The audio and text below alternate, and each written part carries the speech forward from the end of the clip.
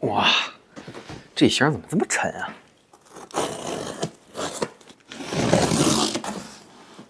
哇塞，好满的一箱啊，难怪这么沉。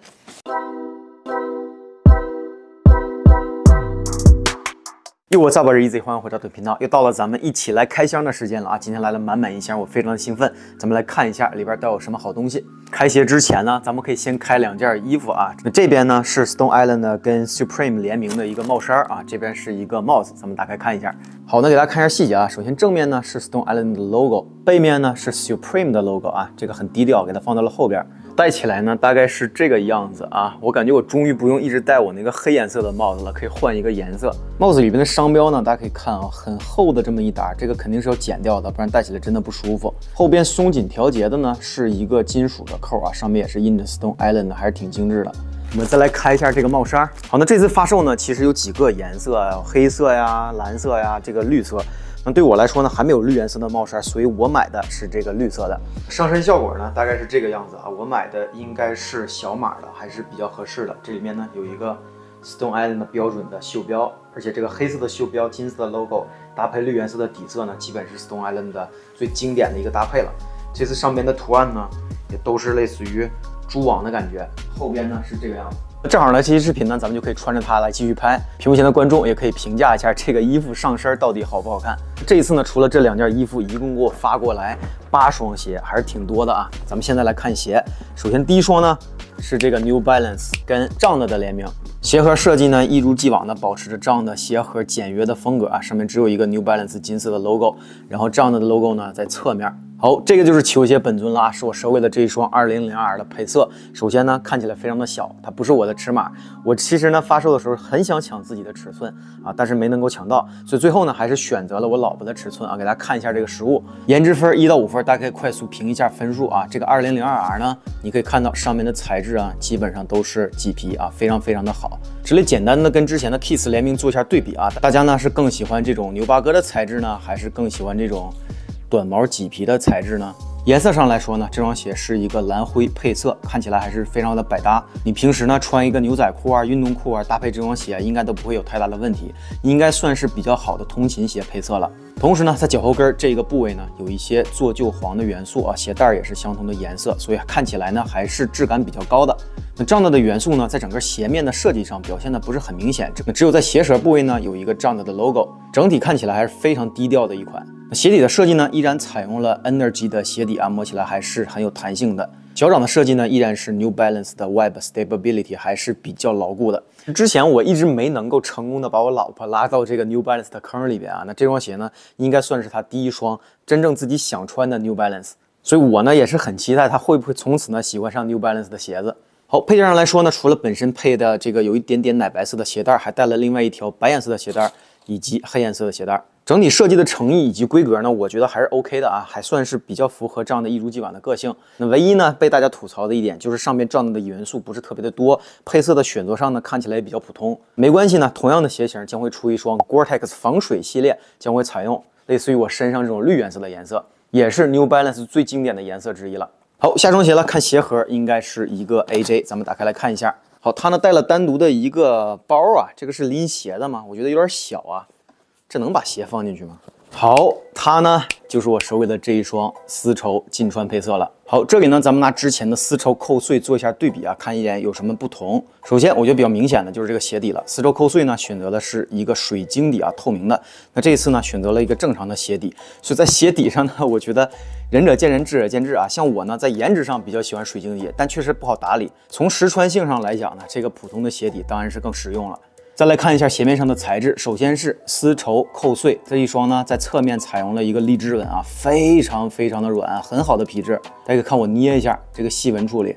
同时呢，在鞋头前面的这个外轮廓呢，也是相同的皮质。反观呢，丝绸黑红整体用的都是这么一个类似于丝绸的材质啊，我觉得呢，从皮质上来说，这个稍逊一筹。第三点不同呢，就是这个钩子啊，这个很明显很明显，你可以看到这个钩子呢是一个全刺绣的处理，侧面看起来。这个厚度我不知道镜头前能不能看得出来啊，是非常厚的，还有明显的凸起。这一次呢，明显就是单独裁切出来一块钩子，然后给缝上去了。所以从钩子的设计以及诚意上来说呢，这个丝绸劲穿又略逊一筹。整体而言呢，同样是丝绸系列，我其实个人会更觉得这双丝绸扣碎呢质感更优。但与此同时呢，这双鞋呢，由于发售的年头比较长远，它现在二级市场的在售价值呢也是非常的高。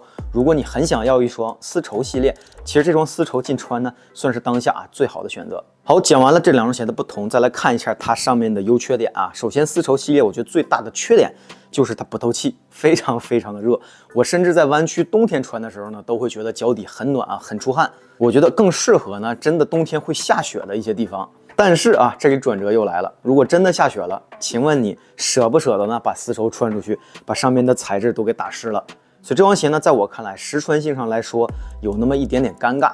这是为什么呢？其实最近这几年，我上脚这双丝绸扣碎呢越来越少的原因。咱们试一下这个兜子能不能把鞋放进去啊？哎，你还别说，它真能放进去啊！就是这么两双摞起来这么放，还可以啊。这个设计挺有意思。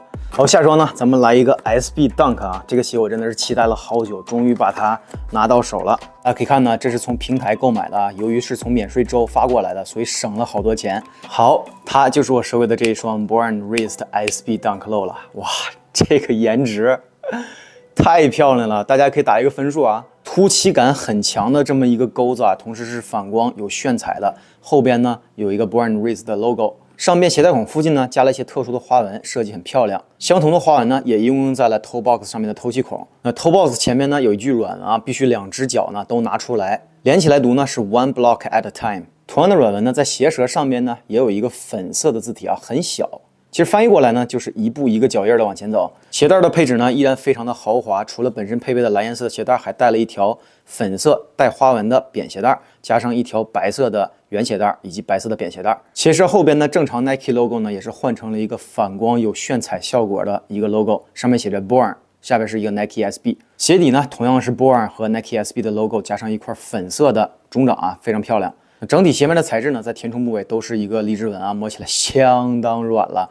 所有的外轮廓呢，都是一个牛巴革材质啊，也是摸起来很柔软、很有质感的一双鞋。正是由于这双鞋上面的设计啊，以及材质，加上之前呢朱丽人去世的消息，那这双鞋呢成为了他在世时候的一个绝唱，所以这双鞋当时呢就原地起飞了。所以呢，从鞋子本身的设计上来讲啊，材质上来讲，以及故事性上来说，这双鞋呢都是 SB Dunk 今年鞋王的一个有力竞争者。同时呢，我相信如果出一个今年的 Top Ten，它也一定会在榜单之中。大家在之后的视频还会看到它的身影。哎，下双鞋呢，应该是我第一双萨洛蒙啊，咱们打开看一下，我还是挺期待的。它呢就是这一双萨洛蒙 Gore-Tex 跟 Sans 联名二十周年纪念的 ST 六。颜色上来说啊，确实不是很保守的一个选项。我为什么买它呢？第一点原因呢是看中了它是一个 Gore-Tex 啊，同时上面呢也有一些 Gore-Tex 认证的标识。第二点原因呢，就是由于它是我第一双萨洛蒙啊，所以呢我总觉得应该先原价抢一双试试脚感啊，试试我自己喜不喜欢，才去呢系统的去收集。我知道这个鞋型呢，其他更优秀的配色还有很多啊，但姑且先让我试一试它。再来决定，除了 Gore-Tex 的认证呢，还有一个他们家 Quick Lace 鞋带系统的一个说明。简单来说呢，就是你这个鞋带可以快速的这么向上提收紧，然后呢可以把这个黑色的鞋带扣呢向下给它固定，最后呢把多余的长度塞到它前边鞋舌上呢有一个小兜兜啊，给它塞到里边，保持鞋面的整洁。好，那赛好以后呢，大概就是这个样子啊，你看不到任何多余的鞋带呢放在外边，还是挺整洁的一个鞋面。那这双鞋呢，我还没有系统的上脚去穿着啊，但是摸起来中底还是颇有弹性，同时呢有一些 TPU 的材质啊，看来稳定性也是不错。外底呢就是非常之硬的那种胶底啊，同时呢有很多凸起的这个钉子，所以理论上来说呢，应该还是一个性能为主的户外鞋。这里呢还是先挖一个坑啊，由于是我的第一双 XT 六呢，所以之后应该会出一期详细的评测视频。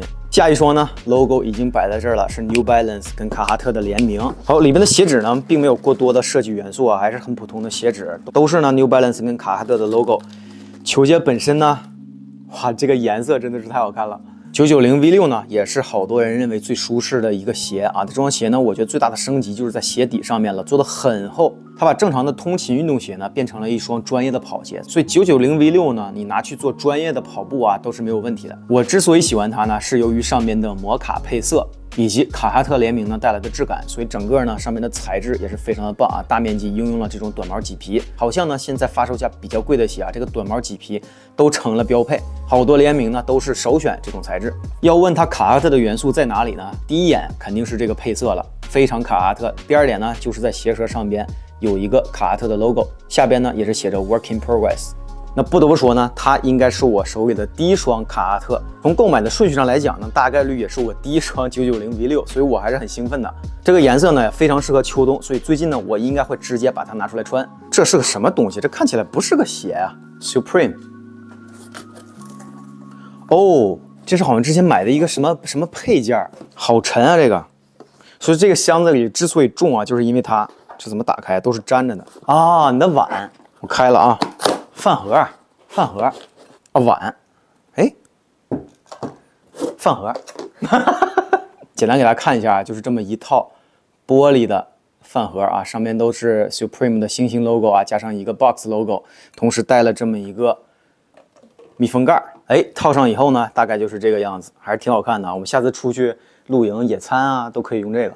今天要开的最后一个东西呢，就是一个 COS 的玩具。那由于是平台买的呢，你不知道之前的卖家呢对它做了什么。这个外包装的盒子呢，我感觉有点脏。这个价格呢还是挺贵的啊，但由于是免税，还是给我省了不少钱。很逗的是呢，上面贴了两个绿叉的标，我相信呢是一个人从绿叉买了，后来呢价值涨上去以后，他又在绿叉卖给了我。好，咱们打开看一下。哇，我感觉啊，这个明显被这个卖家上手把玩过，上面呢有一些。